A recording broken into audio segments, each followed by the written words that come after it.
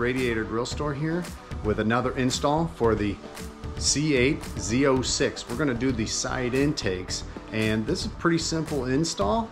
Uh, so come on with us and we're gonna get to tackling this. A couple minutes, we'll be done. This is what comes with the kit. We've got the uh, inside sticky pad and the cable tie. We're gonna loop that cable tie halfway on this outer edge, halfway here. We'll loop it loosely through here. We'll let it hang for now and we'll keep that backing on there for now.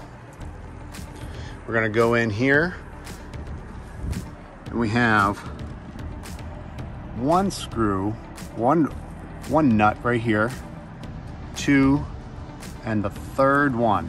So one, two right here, but there's also one up here. So one, two, three. We're gonna remove that nut there with a 5 16 wrench or socket. And we're gonna come in here and we're gonna be placing the inner side of the grill into this rubber right here. We're gonna stick it in here. It's gonna conform to this area here. And when you get that inner edge through that rubber, and then we'll put the bracket up onto the second nut here, or third nut if you're counting from this one. One, two, three. So we'll get to it. We've loosely connected the bracket to about middle of the outer edge and we will insert the grill like so and we'll rotate it into position and then we'll start pushing it into that rubber gasket.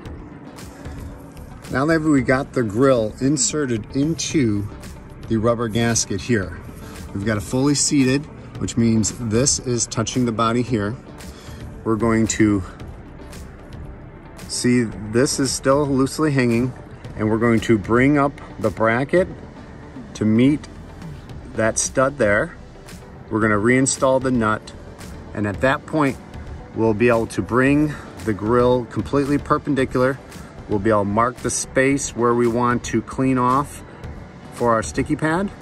We'll clean that off with the included alcohol wipe.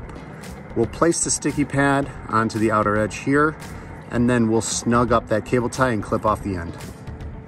Now that we've adhered the sticky tab, we'll be able to bring the grill forward and we will cinch up that cable tie and clip off the end.